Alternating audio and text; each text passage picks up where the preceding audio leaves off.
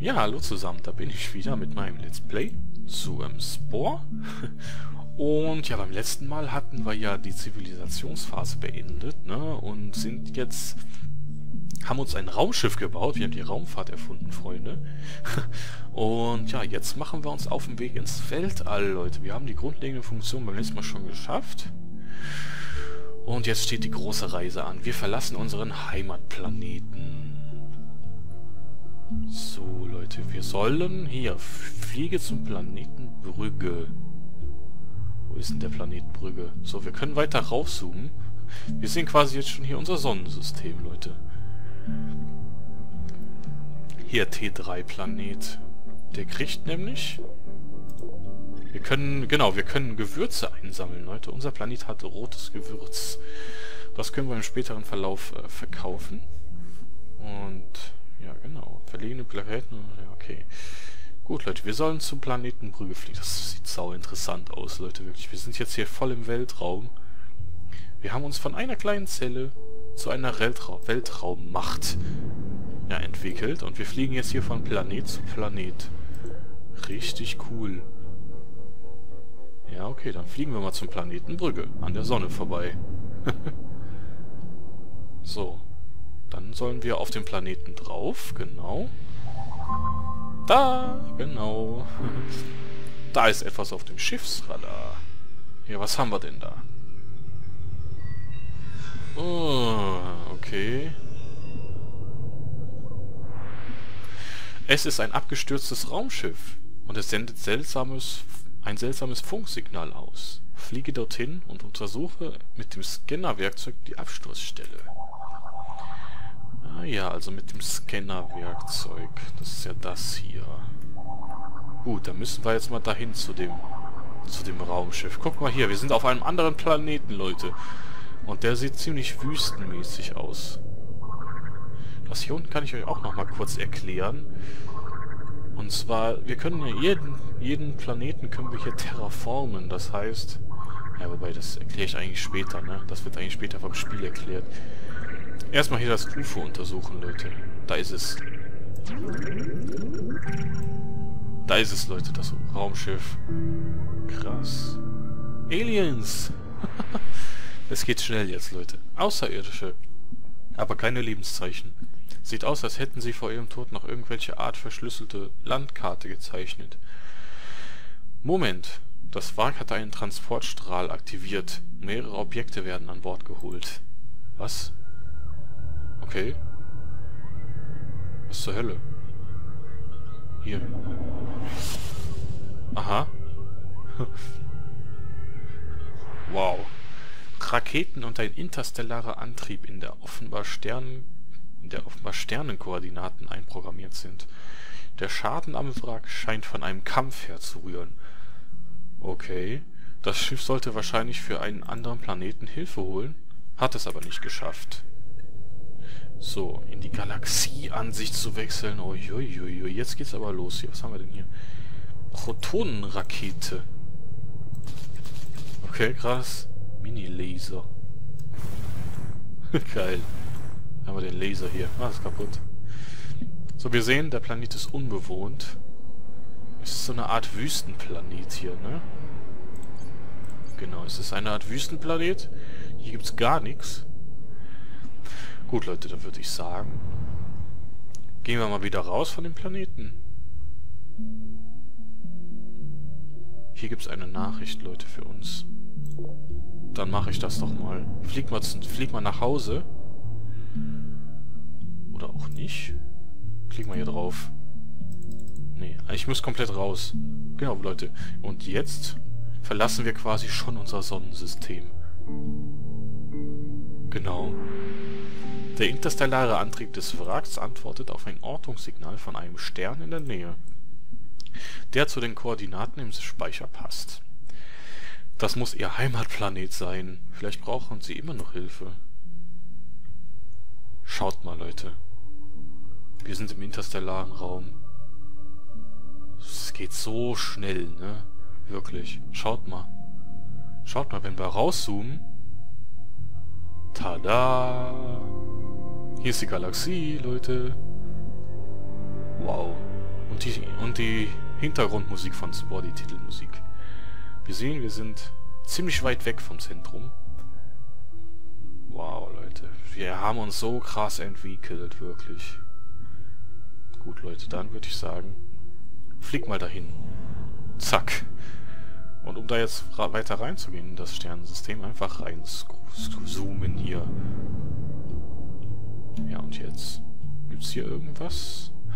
Oh, schaut mal, dieser Planet, der hat hier... Wir müssen darauf achten, dass wir hier äh, Dings kriegen. Verschiedene Gewürzarten. Weil das braune Gewürz, das ist... Fliege zum Planeten Marina. Hier ist Marina.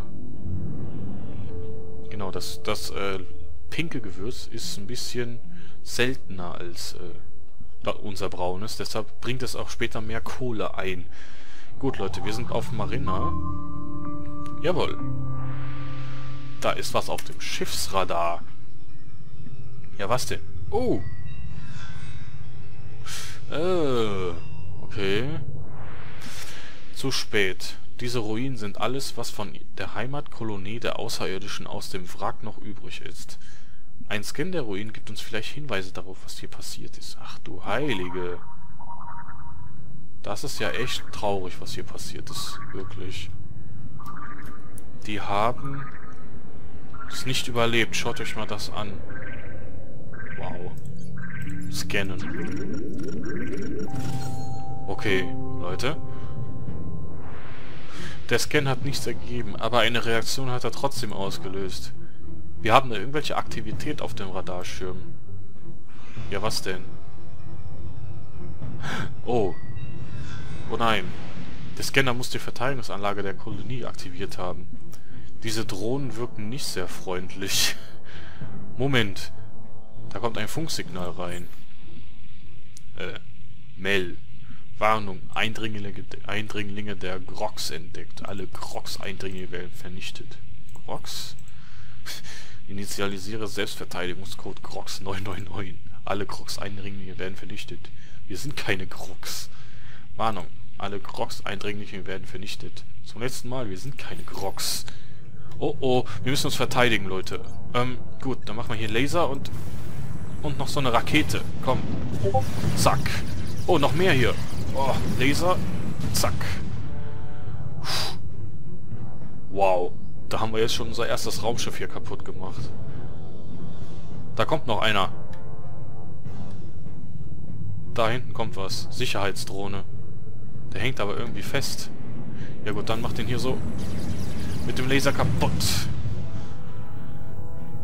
Okay. Krass, Leute. Wir haben es kaputt gemacht. Wir haben es geschafft. Kehre auf deine Heimatwelt zurück, um dann deine Mission abzuschließen. Alles klar. Ja, den Planeten, den könnte man jetzt theoretisch besiedeln später, ne? Ich glaube, der... Ja, der sieht gar nicht mal so schlecht aus, der Planet. Gut. Allerdings hat der kein Gewürz. Das hier der hier hat blaues Gewürz, Leute. Und der hier pink ist. Wow. Kehre auf deine Heimatwelt zurück. Ja, dann würde ich sagen, mache ich das doch mal, ne? Genau, wir können uns hier zu jedem Stern hier fortbewegen. Allerdings müssen wir jetzt erstmal zu unserer Heimatwelt zurück. Okay. Geil. Dein SETI-Gerät empfängt starke Funksignale von diesem Stern. Fliege hin und erforsche. Ja, das sind wir. Das sind wir, Leute. So, Froschi-Reich. Hier, neue Mission. Zack.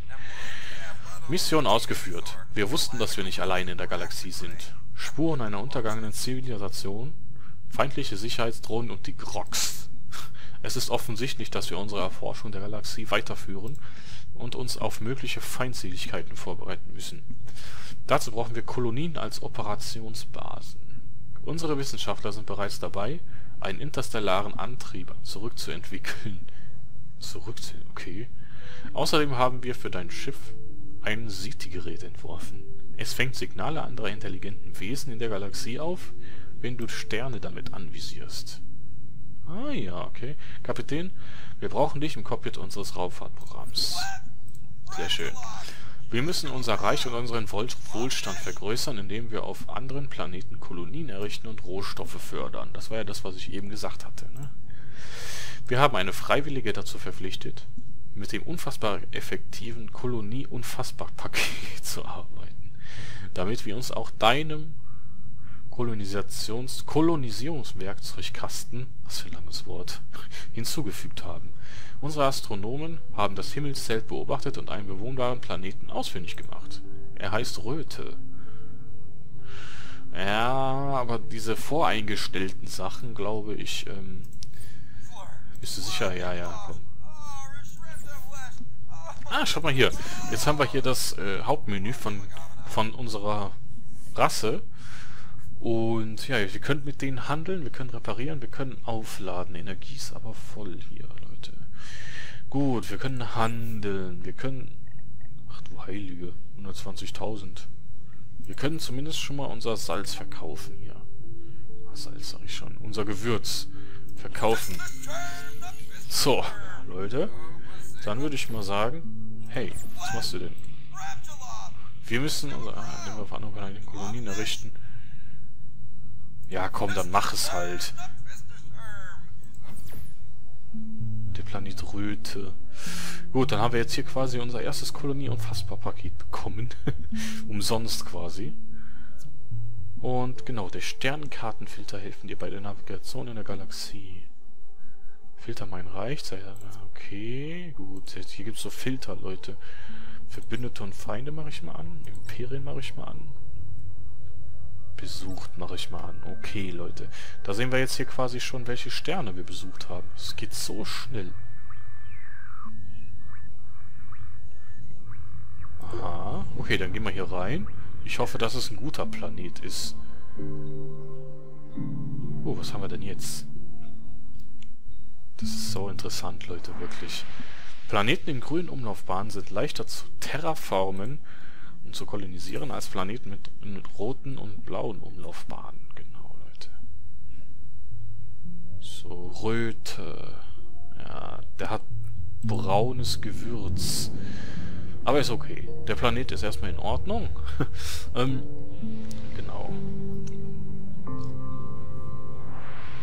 Kolonien können auf jedem Planeten angelegt werden, vom kargen Mond bis zur blühenden Terra-3-Score-Oase. Ertragreiche Kolonien fördern Gewürz, das gehandelt werden kann. Na gut, aber das hier ist eigentlich...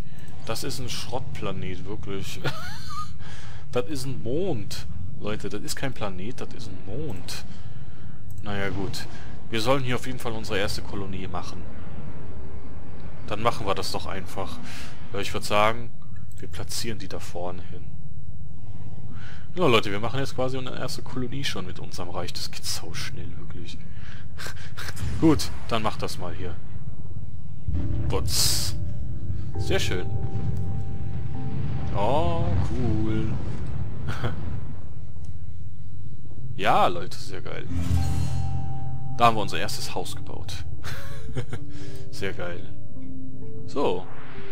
Glückwunsch, dein Reich ist gewachsen. Die Produktion Produktivität jeder Kolonie hängt von ihrer Größe ab und die wiederum wird von Terrascore des Planeten begrenzt.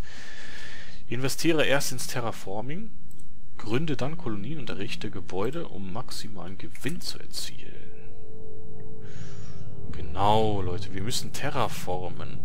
Das heißt hier, der, der Planet, ähm, jeder Planet muss äh, eine perfekte Symbiose, perfektes Gleichgewicht aus Temperatur, und Atmosphärendichte haben. Um, um äh, Lebewesen hier zu herzubergen, sag ich mal so. Und äh, Froschi-Kolonie, genau. Da können wir maximal drei Kolonien drauf errichten. Und hier haben wir verschiedene Pflanzen, Leute. Verschiedene Pflanzen und wir können jetzt hier in die Kolonieplaner rein. Hier können wir, könnten wir Gebäude bauen, aber Kolonien kaufen ihre eigenen Fahrzeuge. Okay, aber hier haben wir jetzt unsere Menschen hier rauf, drum, rumlaufen auf dem nächsten Planeten. mit dem Kopf, mit dem knickenden Kopf. oh Mann, oh Mann. Ja, genau, Leute. Genau, Leute, Nakaya. ja, und wie gesagt, also wir müssten jetzt theoretisch erstmal diesen roten Punkt müssen wir irgendwie in die Mitte bringen auf T3. Allerdings brauchen wir für den roten Punkt erstmal mehr Atmosphäre. Kehre auf deine Heimatwelt zurück, dann mache ich das doch mal direkt. Gut, dann zoomen wir direkt hier raus. Ah, wir können jetzt auch hier woanders hinfliegen. Machen wir gleich, aber wir machen erstmal unsere erste, erste Mission fertig. Hallo. Wieder einmal ausgezeichnete Arbeit, Kapitän. Eines Tages wird unser Reich die Galaxie beherrschen. Wir verlassen uns darauf, dass du die Kolonie regelmäßig besuchst, um das produzierte Gewürz abzuholen. Ja, wie denn? Ihr habt mich auf den Mond geschickt, Leute. naja, gut. Unsere Wissenschaftler sind damit beschäftigt, neue Technologien zu entwickeln, um den Terrascore von Planeten zu erhöhen. Eines Tages wird das auch unseren neuen Kolonieplaneten zugutekommen. Genau, bis dahin müssen wir uns um dringendere Angelegenheiten kümmern. Bist du bereit weiterzumachen? Jo. Kapitän, wir haben Signale aufgefangen, die vermutlich von anderen hochentwickelten Wesen in der Galaxie... Ah, Wesen der Galaxie stammen. Du musst mehr über sie herausfinden und den Erstkontakt herstellen. Ah ja, okay. Benutze das SETI-Werkzeug an Bord deines Schiffs, um sie schneller zu finden. Wirst du diese bedeutende Mission übernehmen? Natürlich. Dein Kurzstreckenkommunikator ist mit einem Universaldolmetscher ausgerüstet, der die Kommunikation mit allen außerirdischen Rassen ermöglicht, denen du begegnest. Nicht schlecht. Ich kann es ja nicht mal so sagen. Nicht schlecht, Leute. Damit die Verbindung aufgebaut werden kann, musst du dich innerhalb ihres Sonnensystems befinden. Wir konnten den Ursprung dieser Übertragung nicht genau bestimmen, du musst dich also ein wenig umsehen. Sobald du im interstellaren Raum bist, fliege zu den Sternen, auf die dein SETI-Werkzeug mit Funkwellen und Audiosignalen reagiert haben. Das sind ziemlich sichere Hinweise. Der Weltraumflug führt zu Abnutzungserscheinungen an deinem Schiff. Kehre nach Hause zurück, wenn dein Schiff repariert und aufgeladen werden muss. Dabei kannst du gleich bei der Missionszentrale anfragen, ob weitere Aufträge im Rahmen der vorliegen. Ich hab's kapiert. okay. Wir warten auf deinen Bericht, so sobald du Kontakt mit den Aliens aufgenommen hast. Viel Glück bei der Suche. Das, danke, tschüss. jo, Leute, wir sollen Aliens finden. Aliens suchen. Alles klar, cool, Leute. Gut, ähm, dann würde ich mal sagen... Da müssen wir jetzt hier irgendeinen Stern suchen, wo... Wo es hier Signale gibt. So, Leute. Gibt es hier irgendwo Aliensignale? Irgendwo, irgendwo müsste das Ding ausschlagen. Fliegen wir hier hin. Na, ich glaube, man findet das... Moment, findet man das denn? Was ist das denn da? Oh, schaut mal hier, was ist das denn? Was ist das denn? Eine Galaxie? Oh! Wow, Leute, nicht schlecht. Du hast eine seltene galaktische Formation gefunden. Das ist ein Wurmloch, Leute. äh, ich speichere das Spiel erstmal. Und äh, da haben wir direkt ein Wurmloch hier vor der Haustür. Nicht schlecht. Durch die Wurmloche sind. Die Wurmlöcher sind quasi, glaube ich, äh, Abkürzungen. Oder? Ah ne, gar nicht wahr. Das sind. Was ist denn das? Was ist denn das, Leute? Ist das ein Neutronenstern? Weiß ich gerade gar nicht. Auf jeden Fall kann ich nicht rein. Okay, Leute. Ähm, ja.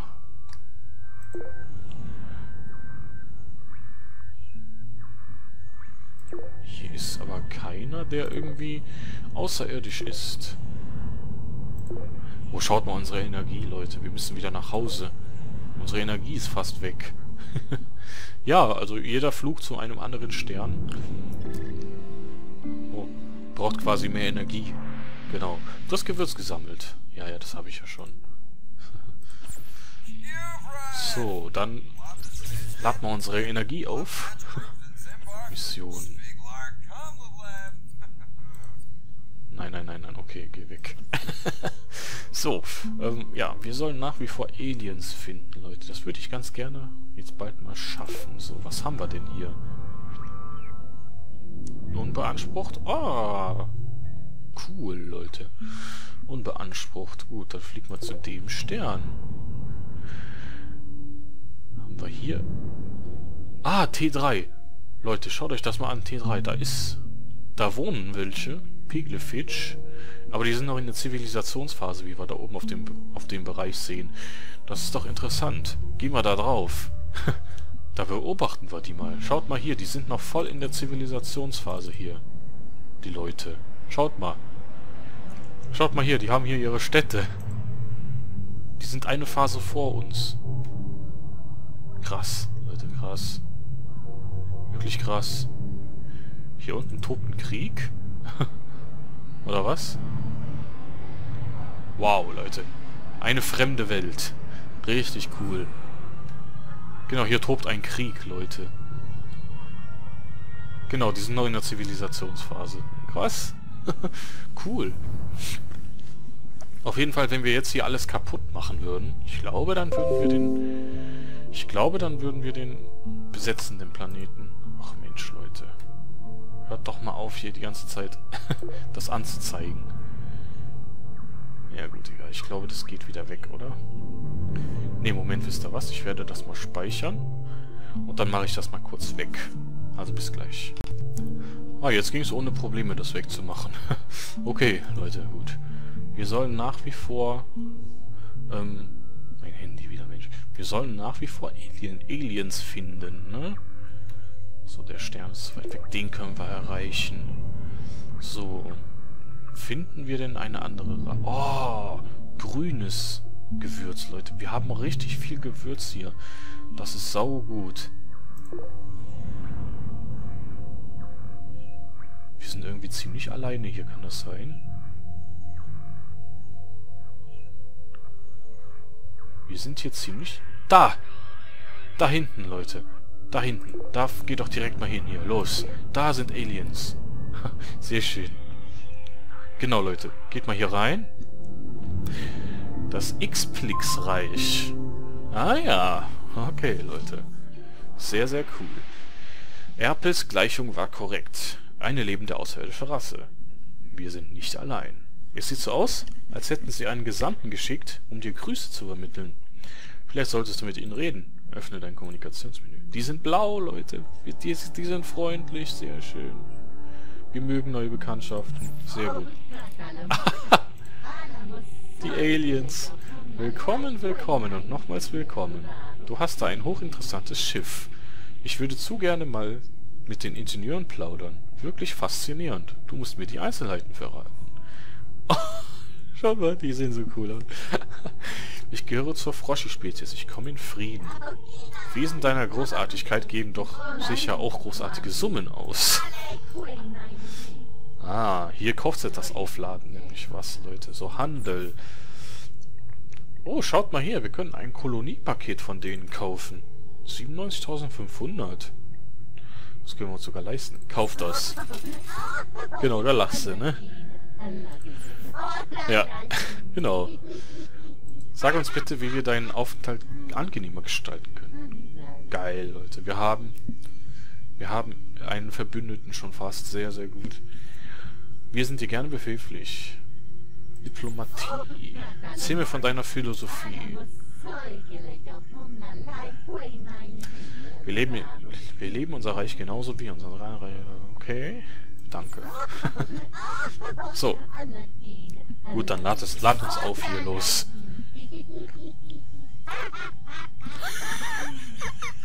Kacke. Der lacht uns hier aus, ey. Mann, Mann, Mann. Okay. Kehre auf deine Heimatwelt zurück.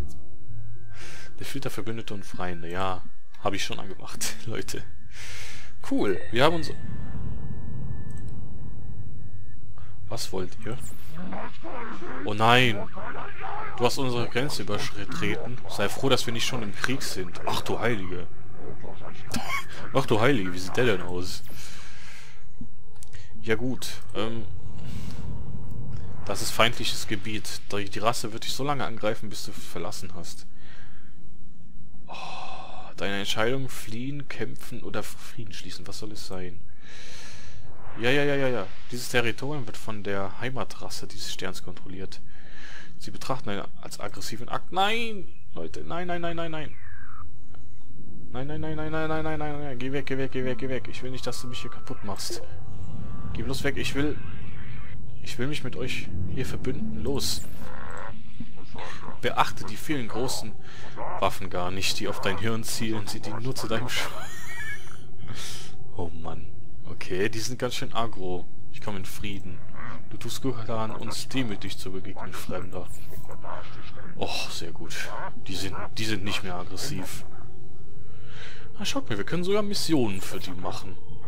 Dein Versuch, uns zu gefallen, gefällt uns. Ja, wir suchen eine Pflanze. Ein feindlicher Angriff mit Biowaffen hat Hexika auf unserer Welt ausgerottet. Würdest du uns ein neues Exemplar beschaffen? Sicher, klingt lustig. Gut, du bist überzeugt, den Auftrag annehmen zu können? Das ist gut. Wir erwarten dafür auch den Mut und die Fähigkeit, die Sache schnell und effektiv abzuwickeln. Die Motoren des wirtschaftlichen Aufschwungs werden durch die Hexika-Pflanze neue Höchstdrehzahlen erreichen. Dir bleiben noch drei Sektonen. Los jetzt, Soldat. Bin bald wieder da, okay. Gut, Hexika-Pflanze vom Planeten Xarinaka. Wo ist er denn? Xarinaka? Wo ist denn der? Xarinaka. ich fliege jetzt noch nicht zurück. Ich mache jetzt erstmal die Mission hier für die. Weil ich möchte mich unbedingt mit denen anfreunden. so, wir gucken jetzt die ganzen Sterne nach. Ah, hier, Frick-Sternensystem. Da muss ich gar nicht überall rein. Frick-Sternensystem. Hier, Frick, Frick. So, Mission, genau. Ähm, wo sind die denn? Wo ist denn das Frick-Sternensystem? Moment. ja, ihr seht, Spore hat sich... Oh. Noch mehr Aliens. Ihr seht, Spore hat sich jetzt grundlegend nochmal geändert. Ähm, nur Frage ist jetzt, wo ist das Frick-System? Ah, hier, Frick. Alles klar. Okay, Leute. Tarinaka. Hier drauf. Spore hat sich grundlegend geändert. Jetzt ist, jetzt ist es jetzt quasi ein Weltraum-Shooter. ah, schaut mal da. Was haben wir denn hier? Da ist was auf dem Schiffsradar. Ja, was denn? Ah, ein Gewürzturm. Gewürzgeisier. Du hast einen wilden Planeten entdeckt. Zahlreiche Kreaturen und Pflanzen leben hier, mit deren Hilfe du auch andere Planeten, auch auf andere Planeten Leben bringen kannst. Wilde Planeten haben zudem reiche Gewürzvorkommen und sind zur Kolonialisierung geeignet. Genau, Leute. Blaues Gewürz. Ich glaube, den kolonisiere ich auch direkt. Blaues Gewürz ist immer gut, Leute. So. ähm, genau, mach mal unsere... Mach mal unseren Stamm da hinten hin. So, Leute. Blaues Gewürz ist immer so gut. Cool. Wir haben ihn jetzt kolonisiert. Sehr schön. Reich 1 Plakette. Sehr gut. Gut, aber wir müssen ja hier ein Tier scannen für die, ne? Oder eine Pflanze war es, genau. Eine Pflanze scannen. Ah, ne, bringe uns eine Pflanze. Uiui, wir haben noch zwei Minuten. Okay, gut. Dann äh, würde ich mal sagen, wir sollen denen eine Pflanze bringen. Wir haben noch zwei Minuten, Leute. Das passt ganz gut, weil unsere Folge ist auch gleich zu Ende. So, schaut mal hier. Die bauen jetzt für uns blaues Gewürz ab. So, wo, wo waren die denn? Die waren da vorne, ne? Schnell hinfliegen hier. so. Wir haben's. Es ist vollbracht. So, meine Uhr. Alles klar. Es ist vollbracht. Schon als wir uns kennenlernten, wussten wir, dass du ein wahrer Freund der freien Marktwirtschaft bist. Denn wenn es für, je, für jeden billig wäre, gesund zu leben, würden, wir, würden die Motoren, die Wirtschaft der Quarbert Reichgesellschaft am Laufen halten. Äh, wo war ich hier? Den Geist aufgeben und das können wir nicht zulassen. Nimm deine 15.000 Sport-Dollar, Bezahlung und geh. Und zu keinem ein Wort über Hexika, sonst müssen wir dich als Feind des Fortschritts brandmarken. Und das gibt immer Tränen. Gut, Leute. Ähm, ja, wir sind jetzt mit denen neutral, das ist ganz gut soweit. Wir wollen nämlich am Anfang keinen Krieg, Leute. Bitte keinen Krieg. Gut, Leute. Ah, schaut mal, wir sehen jetzt hier schon unser Reich, unser kleines hier. Drei Planeten. Gut, Leute, da meine Uhr allerdings jetzt geklingelt hat, ähm, würde ich sagen, mache ich jetzt hier erstmal Schluss. Ähm, ich hoffe, es gefällt euch soweit hier, die Weltraumphase. Ja, es hat sich geändert. Es hat sich sehr geändert, Leute. Cool. Und ja, dann würde ich sagen, schneide ich das jetzt zusammen und mache dann gleich weiter. Und ja, wenn es euch gefallen hat, lasst doch gerne ein Like oder Abo da, würde mich sehr freuen. Und ja, dann wünsche ich euch noch einen schönen Abend oder einen schönen Tag. Ne? Tschüss, tschüss.